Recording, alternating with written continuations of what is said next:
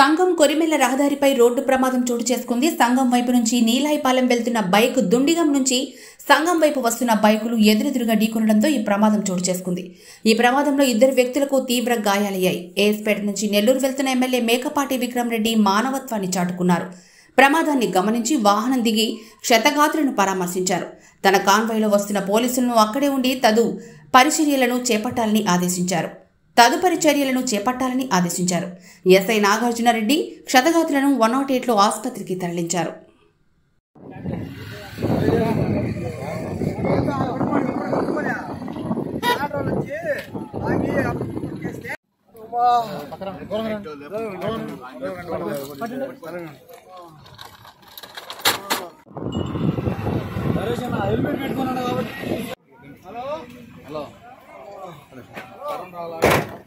మరి అడవుడు ఏం చేస్తుంది మళ్ళీ వాళ్ళు ఎడని పడేను